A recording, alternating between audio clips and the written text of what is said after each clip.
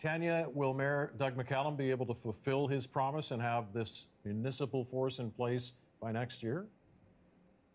In theory, yes. At least that's what we're hearing today, Mike. 2021, uh, April specifically, has long been the target date and promise of Mayor Doug McCallum. And today, the province did admit that is an ambitious target start date, but acknowledged it would be achievable if everything goes along the timeline according to plan. Now, Surrey's mayor, of course, is delighted by today's news of the province officially rubber stamping this. And uh, he says this is the final step in the guarantee that Surrey will have its own police force. The time has arrived, and some would say it's been long overdue for Surrey to have local control and responsibility of its policing.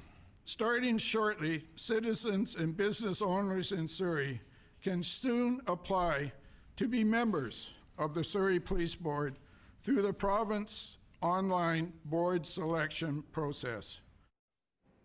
Now, BC's Solicitor General has long and repeatedly said that policing is a municipal issue. And we saw Mike Farnworth use that distancing, uh, perhaps nowhere else more so than when, when it comes to the cost. The transition process is pegged by the city at around $19 million. And if that price tag is higher, well, that's pretty much Surrey's problem, says Mike Farnworth. In terms of the transition costs, those costs are borne by the City of Surrey. We have been clear about this right from the very beginning. Uh, and in fact, um, the City of Surrey has put in place a, a five-year uh, in their budget um, transition costs. Okay, Tanya, so it sounds like the province is taking a bit of a hands-off approach. How do people in Surrey feel about today's announcement?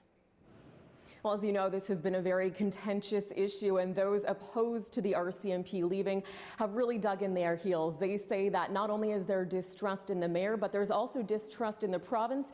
And the group uh, Keep RCMP in Surrey says it will do everything it can to delay this transition. We are appalled at the provincial government's position. At the same time that they are denying the RCMP uh, increased budget and manpower, we've got to go through this nonsense.